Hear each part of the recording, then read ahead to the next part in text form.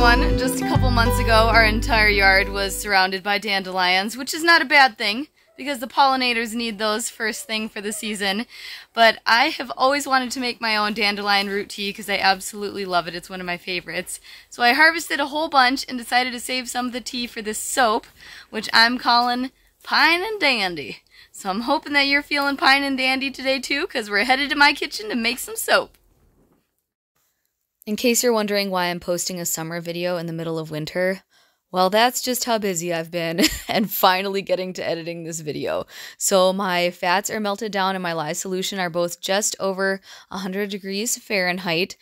I did make dandelion root tea and then I froze it. I usually like to use a majority of ice cubes or frozen tea or frozen juice, something like that for my lye solution. It helps it get down to temperature much faster. So to make this dandelion root tea, I have a long tool it's like a taproot tool that people use to get weeds out of their yard, and it has like a little sharp fork down at the end of it. So you can stick that right down along the taproot and snap it much further down in the ground, and it makes it easier to pull up a larger chunk. So that's what I use to harvest and get more for my money, I guess you could say, because um, otherwise it's kind of a pain pulling up dandelions. So, what you want to do is rinse those off right away because if they dry with dirt on them, you're going to have dirt tea, which ain't going to be any good. So rinse them right away and then dehydrate them and then steep them just like you would any other tea. And that is how I made this dandelion root tea. And so, of course, I froze it into some cubes for this. And to go with this dandelion theme, and of course the title Pine and Dandy, I used a blend of pine and cedarwood essential oils with just a little bit of vetiver and I will say this is the most earthy smelling soap I have ever smelled or made. Almost smells like straight up dirt. Like it's it's strong. Um it's kind of an acquired taste, I would say. Some people are going to like it and some people are going to be like, "You gross." So to each their own, but that's just what I wanted to try for this one to fit with the name. And the design I was going for was kind of a mix of things, really. I did an angle pour with this spirulina and green clay, but I did a slight bit of white batter.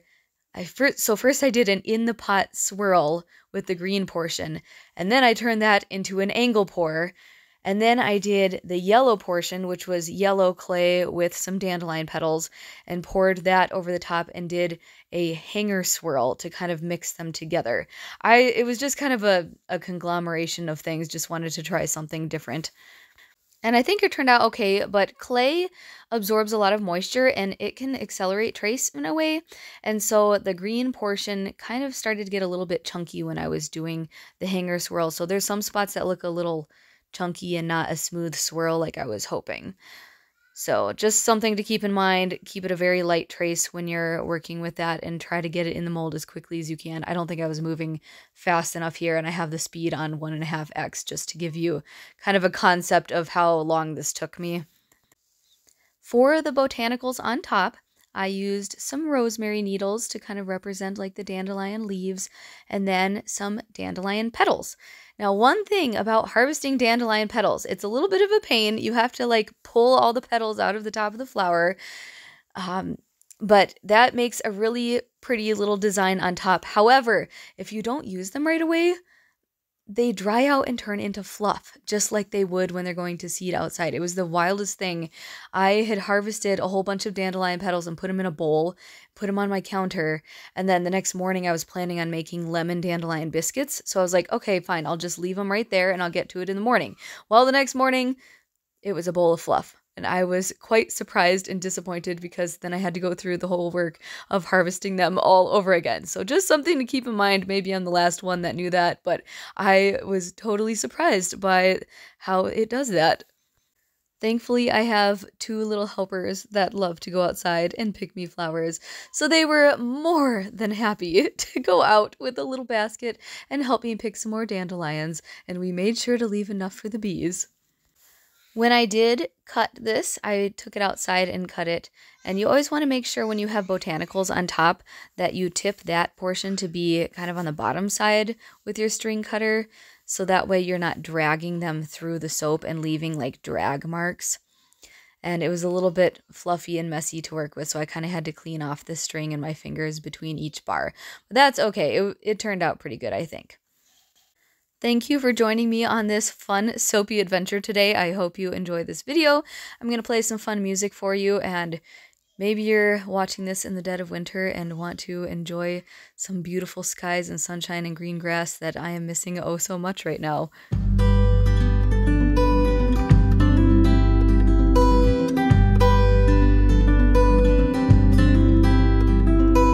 Leave your troubles here no time to drift, just persevere.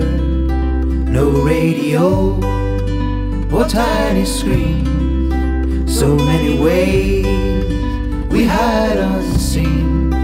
Let go your pain, seek mystery. Consider love, consider me, and raise your voices. Ooh.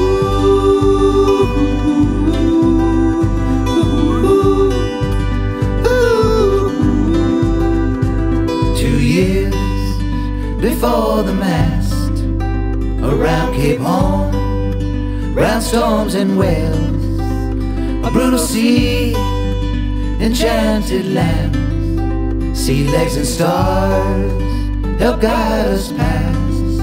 Remember joy Let go fear. Lose the hatred Don't despair. And raise your voices Ooh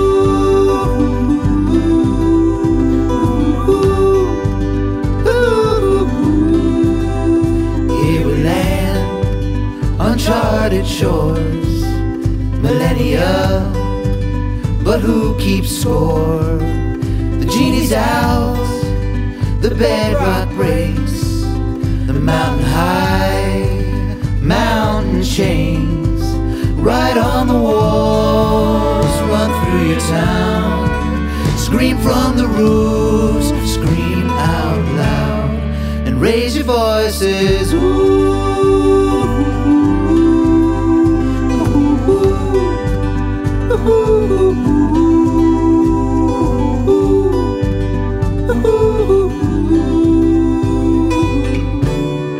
Just a ragged lullaby Just a ragged lullaby. Just a ragged lullaby. Raise the sails Lift your hearts Drift asleep Become the voices. Ooh.